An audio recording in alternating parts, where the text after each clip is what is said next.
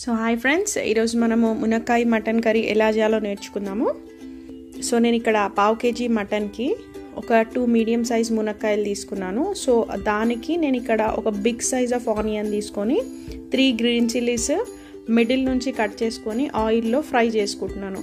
So నేను ఈ mutton నేను ఇది నిన్ననే తెచ్చి ఫ్రిడ్జ్లో పెట్టుకున్నాను. ఇది పావు కేజీ ఉంది. నిన్ననే తెచ్చుకున్నందుకు నిన్ననే వాష్ చేసుకొని దాంట్లో salt turmeric powder ginger garlic paste వేసి మ్యారినేట్ చేసి పెట్టుకున్నాను. అంటే మటన్ మనము రేపు అట్లా కుక్ చేసుకోవాలి అనుకుంటే సపోజ్ ఈరోజే తెచ్చుకుంటే అది అలానే రాగా వదిలేయకుండా వాష్ చేసుకొని ఈ బేసిక్ ఇంగ్రీడియంట్స్ కలిపి పెట్టుకుంటే ఫ్రెష్గా ఉంటుంది.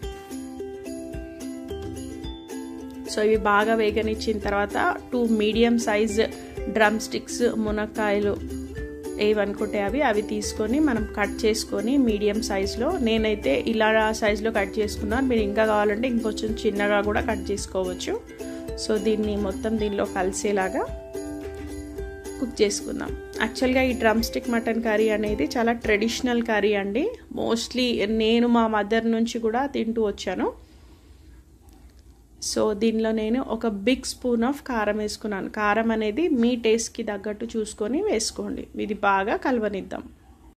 సో ఇక్కడ చూస్తున్నారు కదా కర్రీ నేను ఎక్కడ వాటర్ పోయకుండా ఓన్లీ ఆ రెండింటిని బాగా కలిసేలాగా ఉడకబెట్టుకుంటున్నాను.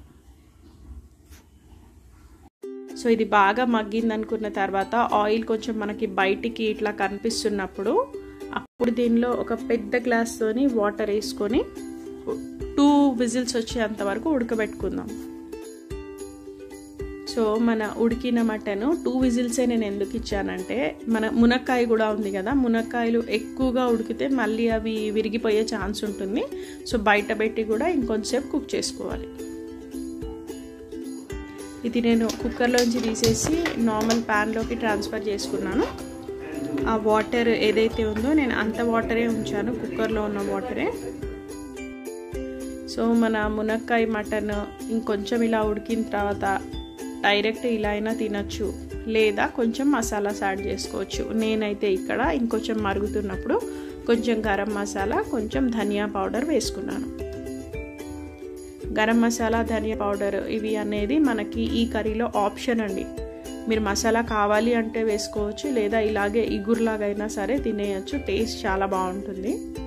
ఇది మనకి ప్యూర్గా చెప్పాలంటే మంచి వైట్ రైస్ వేడివేడి అన్నంలో చాలా బాగుంటుంది. సో నేను కొంచెం చిక్కబడ్డానికి కొంచెం కొబ్బరి పౌడర్ కూడా వేసుకున్నాను. ఏం వేసుకున్నాను? గరం మసాలా ధనియా పౌడర్ కొబ్బరి పౌడర్. సో బయట పెట్టి అరౌండ్ ఒక ఫైవ్ టు టెన్ మినిట్స్ ఉడికించుకున్న తర్వాత మన మునక్కాయ మటన్ కర్రీ ఇలా ఉంటుంది. వైట్ రైస్లో సూపర్. మునక్కాయ మటన్ కర్రీ రెడీ అండి. If you like my video, like, share and subscribe to our channel.